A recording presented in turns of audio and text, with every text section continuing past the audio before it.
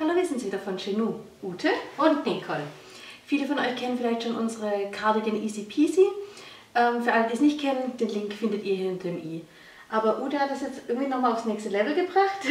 Der Cardigan Easy Peasy, der hatte ja gar kein Schnittmuster, bestand eigentlich nur aus geraden Stücken. Ich habe jetzt da noch ein bisschen was verändert dran und habe ein Schnittmuster gemacht.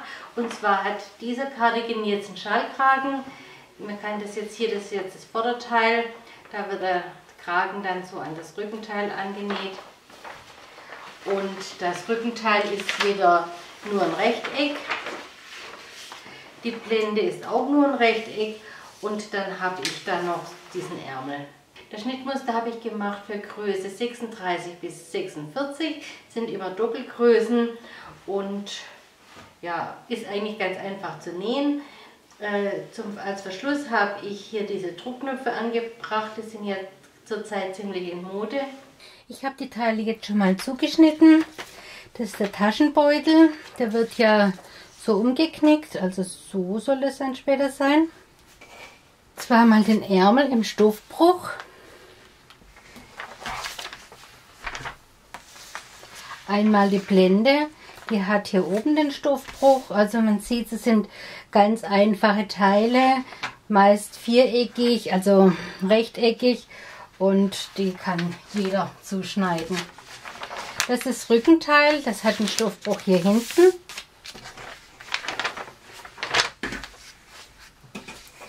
Und zweimal das Vorderteil mit der angeschnittenen Blende. Ich habe eine Nahtzugabe von 1,5 cm gemacht. Ich werde jetzt alle innenliegenden Nähte, also wie zum Beispiel jetzt, wenn ich die Tasche hier absteppe, mit einem dreifachen Geradstich nähen und alle außenliegenden Nähte, also Kanten, wie jetzt zum Beispiel hier die Schulternaht, werde ich mit der Overlock nähen. Die kann man natürlich auch mit dem dreifachen Geradstich nähen und der Stoff, der franzt ja nicht, nicht aus. Man muss ihn eigentlich gar nicht versäubern. Ich beginne jetzt damit, die Schulternähte zu schließen. Die Blende hier, dieses Stück, das bleibt offen. Also ich beginne hier ähm, zu nähen und hier, bis hier auf beiden Seiten. Das sind jetzt die Schulternähte und ich habe jetzt auch gleich die angeschnittene Halsblende am Vorderteil geschlossen. Und die wird jetzt in Fortsetzung der Schulternähte an das Rückenteil angenäht. Hier entsteht ja dann diese Lücke und das wird jetzt so geschlossen. Hier kann ich jetzt euch nochmal zeigen, wie der Halsausschnitt aussieht. Also hier ist die Schulternaht, dann kommt der rückwärtige Halsausschnitt und hier wieder die Schulternaht. Hier ist jetzt der Kragen so dran.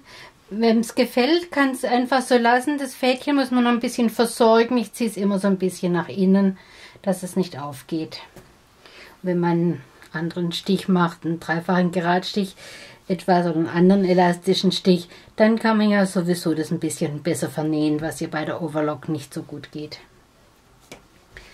Wir werden jetzt als nächstes die Ärmel einsetzen. Ich habe jetzt hier die Schulternaht, rechte Seite nach oben. Den Ärmel, ich wollte es nochmal zeigen. Hier ist ja die Kante vom Schnittmuster. Und ab hier bin ich dann nochmal etwas breiter wieder geworden damit, wenn ich das so umschlag, damit es mit dieser Kante dann abdeckt. Also man sieht es jetzt vielleicht, es ist hier wird schmal und hier wird es wieder etwas breiter. Ich habe mir die Mitte markiert, also das, Stoff, den Stoffbruch, den wir ja vorhin geschnitten haben, ne, das mal lieber drin. Und jetzt lege ich rechts auf rechts den, mit den Mittelpunkt, also den Stoffbruchpunkt, genau auf die Schulternaht. Dann stecke ich es mir fest und nähe einfach den Ärmel so an. So, mittlerweile sieht das gute Stück schon richtig nach einer Jacke aus. Um, ähm, wir haben jetzt diese Nähte ja noch offen.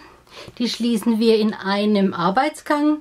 Ich stecke das, natürlich muss ich es erst noch umdrehen, das liegt jetzt rechts. Ich nähe es ja von rechts auf rechts. Von diesem Achselpunkt her stecke ich das nach vorne und nach unten, dass diese Naht auf jeden Fall übereinstimmt. Hier oben kann ich jetzt noch mal ein bisschen zeigen. Der Kragen, der wird ja noch verblendet. Aber ich möchte erst die eigentliche Form haben, damit ich nochmal die Länge überprüfen kann, bevor ich da in die Feinheiten gehe. Bevor ich die Strickjacke jetzt umdrehe, wollte ich euch nochmal die Nähte zeigen. Also dieses, dieses ist bei mir eine Naht, da geht komplett alles zu an der Seite. Und von rechts bin ich auch sehr zufrieden. Ich liebe ja die Overlock-Nähmaschine. Ich würde ja um nichts in der Welt wieder hergeben. Hier guckt jetzt ein Faden raus. Den habe ich jetzt aus Versehen da mitgenommen. Den schneide ich einfach ab. So, ich werde jetzt nochmal die Längen von Ärmel und der Strickjacke selbst überprüfen. Dazu ziehe ich es mal an und gucke, lege mal alles aufeinander, die Seitenlänge. Hier zum Beispiel sehe ich, das ist nicht alles gleich lang. Da werde ich nochmal mit der Schere rangehen, die Achselpunkte genau aufeinander legen und dann nochmal hier alles begradigen, bevor wir dann unten versäubern.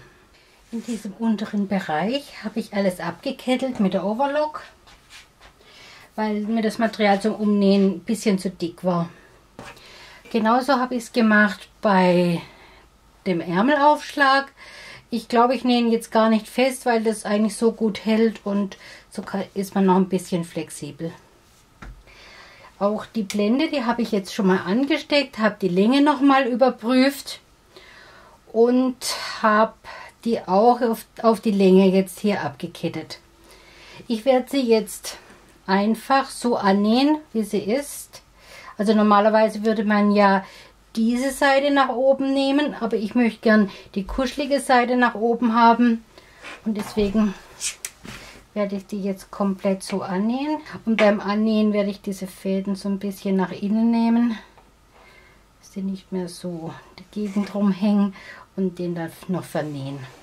Ich mache zwei Nähte, so habe ich dann auch eine Knopfleiste. Einmal außen die eigentliche Naht und dann nochmal im Abstand von etwa zweieinhalb Zentimeter eine weitere Naht. Wenn ihr das Schnittmuster haben wollt, das findet ihr hier unter dem i in unserem Schnittmuster-Shop. Oder zum Blogbeitrag, das findet ihr auch unter dem i. Ich habe da noch ein bisschen Text geschrieben, wie ich es genäht habe. Nicole hat noch ein paar Fotos gemacht. Ja, da seht ihr auch noch ein bisschen die Details der Jacke. Ähm, ja, und auch ein paar Bilder noch von Ute, wie sie sie anhat. Wenn euch unser Video gefallen hat, gebt uns bitte einen Daumen hoch. Und wenn ihr noch mehr von uns sehen wollt, klickt auch dann mal auf das i, da findet ihr immer den Link zum Newsletter und zur Newsletter-Anmeldung und dann könnt ihr euch den Newsletter bestellen. Dann bekommt ihr immer Nachricht, wenn es mal von uns wieder was Neues gibt. Gleiches gilt für unsere App, die ist kostenlos, auch die findet ihr unter dem i und bekommt eine Push-Meldung, wenn wir was Neues veröffentlichen. Wir würden uns auch über einen Kommentar von euch freuen und ansonsten sagen wir bis zum nächsten Mal. Tschüss!